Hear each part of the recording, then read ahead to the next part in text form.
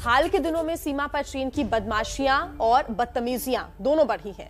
लेकिन अब देश की सुरक्षा में लगी आईटीबीपी ने चीन को दो टूक शब्दों में चेतावनी दे दी है। एलएसी पे भी हम लोगों की तैयारी बहुत अच्छी है और किसी भी इवेंचुअलिटी के लिए हम लोग तैयार हैं। आईटीबीपी के महानिदेशक संजय अरोड़ा का इशारा चीन की तरफ़ है।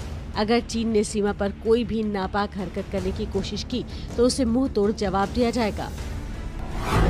आईटीबीपी के जवान भारत चीन सीमा पर तैनात है। इनके ज़रिए लद्दाख के काराकोरम पास से अरुणाचल के दीपू तक की सुरक्षा है।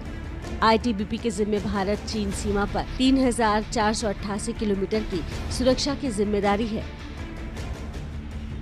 आईटीबीपी के जवान माइनस चालीस डिग्री की सर्दी में भी देश की सीमाओं पर तैनात रहते हैं, ताकि दुश्मनों की किसी भी हरकत को बेअसर कर सके।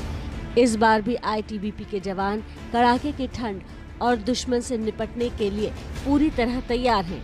चाहे वो स्पोर्ट्स फ़ील्ड हो, चाहे ऑपरेशनल फ़ील्ड हो, चाहे ट्रेनिंग फ़ील्ड हो, किसी भी फ़ील्ड में, हर फ़ील्ड में अच्छी तैयारी और अच्छी ट्रेनिंग के साथ हमेशा तैयार रहते एलएसी पे भी हम लोगों की तैयारी बहुत अच्छी है और किसी भी इवेंचुअलिटी के लिए हम लोग तैयार चीन हाल के दिनों में कई बार सीमा पर विवाद कर चुका है।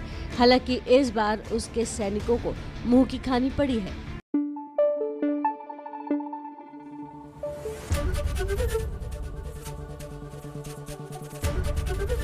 एबीपी न्यूज़ आपको रखे आगे।